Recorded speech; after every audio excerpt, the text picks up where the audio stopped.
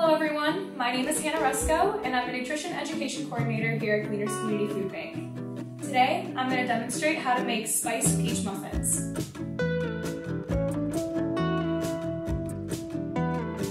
So I'm going to go over the ingredients that you're going to need to make the muffins today.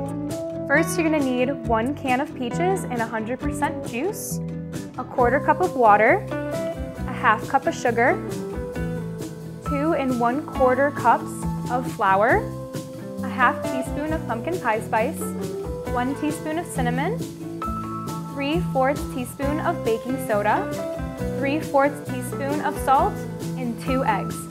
The first step is to preheat your oven to 400 degrees Fahrenheit and grab a 12 count muffin tray and grease each section down with a non-stick cooking spray or with any oil you have.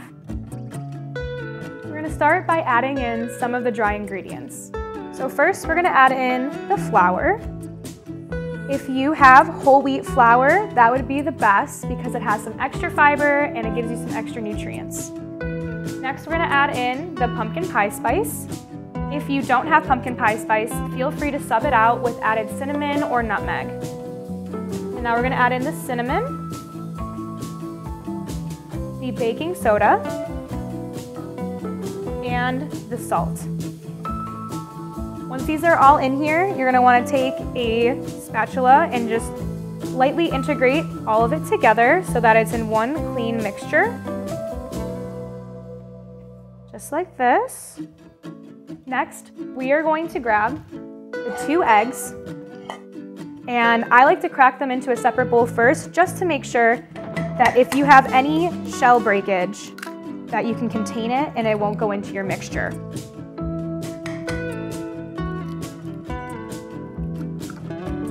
Here's our two eggs. I like to whisk the eggs up first, just so the yolks and the whites are well integrated together. And then we're going to add the eggs to our dry ingredients, along with the sugar. Now we're going to mix them all together, and it's gonna be kind of sticky, but that's good, that's what we're looking for. Next, we are going to add the peaches with the juices. So you're gonna wanna add that extra moisture to the dry ingredients along with the water. While you're mixing, um, you're gonna wanna try to chop up the peaches into about half of the size or whatever kind of size you're looking for, bite size though, and slowly mix it all together until it forms a nice dough-like consistency.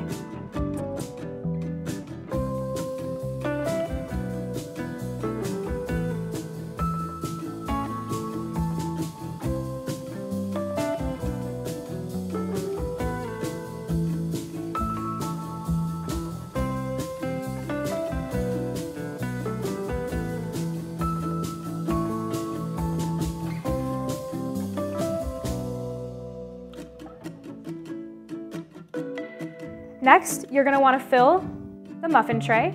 I like to use a quarter cup ice cream scooper because it makes it very even and easy, but you can use whatever you have on hand. So I'm just gonna fill up this, this scooper and place a quarter cup of batter into each slot.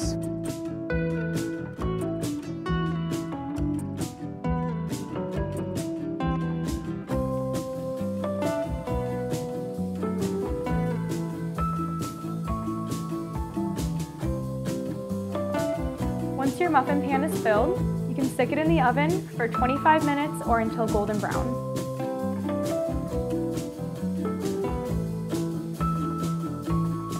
Once your muffins are done baking, your final product will look a lot like this.